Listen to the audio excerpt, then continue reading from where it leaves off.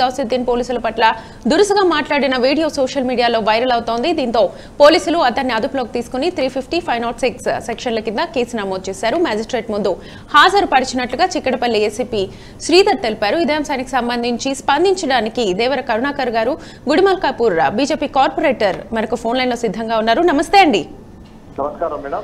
ఇప్పుడు గౌసుద్దీన్ మాట్లాడిన మాటలు ప్రస్తుతం సోషల్ మీడియాలో కూడా వైరల్ అవుతున్న ఆ వీడియో కూడా బయట వచ్చింది అంటే ఎందుకు ఇలా బిహేవ్ చేశారు? పోలీసులు వాళ్ళ డ్యూటీ వాళ్ళు చేస్తున్నప్పుడు ఎందుకు ఇలా బిహేవ్ చేయాల్సి వచ్చింది? అంటే ఒకటి ఇక్కడ అధికారం చేతిలో ఉండబట్టి చేశారా? లేకపోతే ఏమనిపిస్తుంది మీకు అసలు?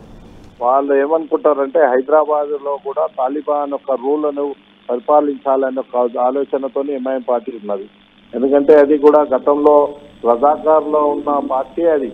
వారి వారసత్వం నుంచి వచ్చిన పార్టీ.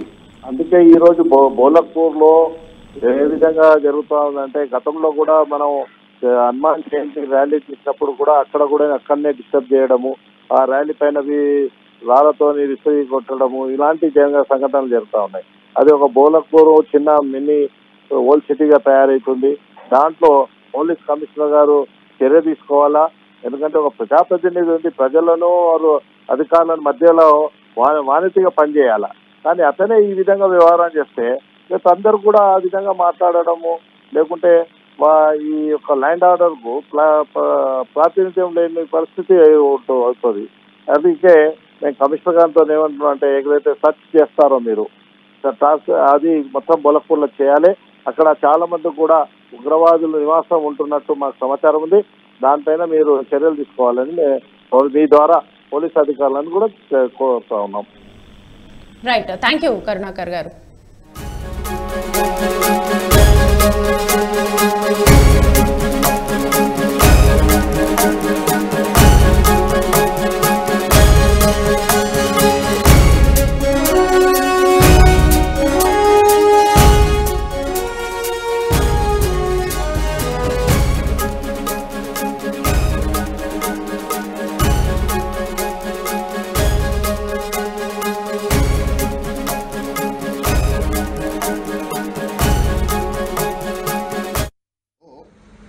పోలీసు వాళ్ళు షాప్లు బంద్ చేయడానికి పోతే ఆ షాప్ ఓనర్ ఎంఐఎం కార్పొరేటర్ పిలిచిండు.